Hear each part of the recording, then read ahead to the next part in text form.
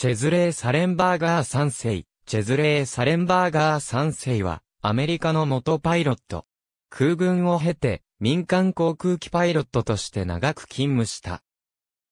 そのキャリアの中で、2009年1月15日に発生した US Airways 1549便富士着水事故において乗客乗員155人が乗ったエアバスウェイ320型機が両エンジン停止状態に陥った際、冷静な判断でハドソン川への富士着水を成功させ、なおかつ乗客乗員の命を全員救出したことごとからハドソン川の英雄と呼ばれている。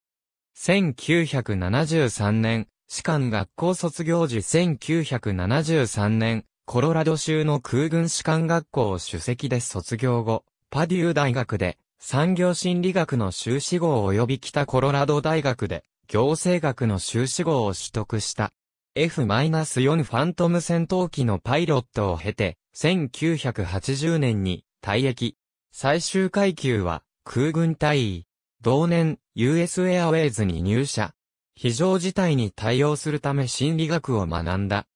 オバマ大統領を就任式、大統領の向かって、左後方に着席している2009年1月15日、サレンバーガー機長は、ニューヨーク発、シャーロット経由、シアトル行きの US Airways 1549便で機長を務めていた。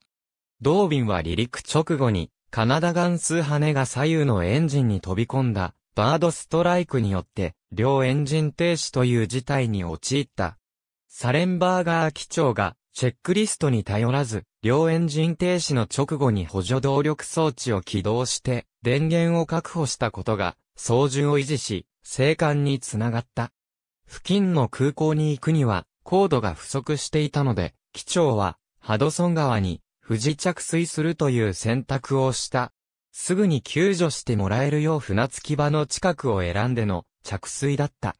着水時に機体の破損がなかったことに加え、アテンダントによる適切な避難誘導、着水後の迅速な救助活動もあり、乗客乗員全員が無事脱出に成功し、犠牲者は一人も出なかった。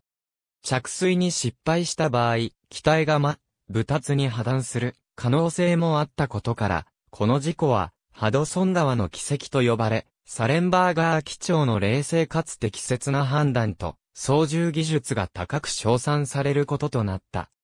しかし、当のサレンバーガー自身は、自身を英雄視する周囲に対し、これは奇跡などではなく、常に緊急事態に備えて訓練していた結果だ。私は英雄などではない、当然のことをしたまでだと発言している。2009年1月16日、オバマ次期米大統領は、サレンバーガーと電話で話し、英雄的で立派な仕事ぶりを誰もが誇りに思っていると称えた。サレンバーガーは、同年1月20日のオバマ大統領の就任式にも招待されることになった。就任式の前夜、サレンバーガー機長は、レストラン、ハドソンで、フライドチキンによるディナーを取った。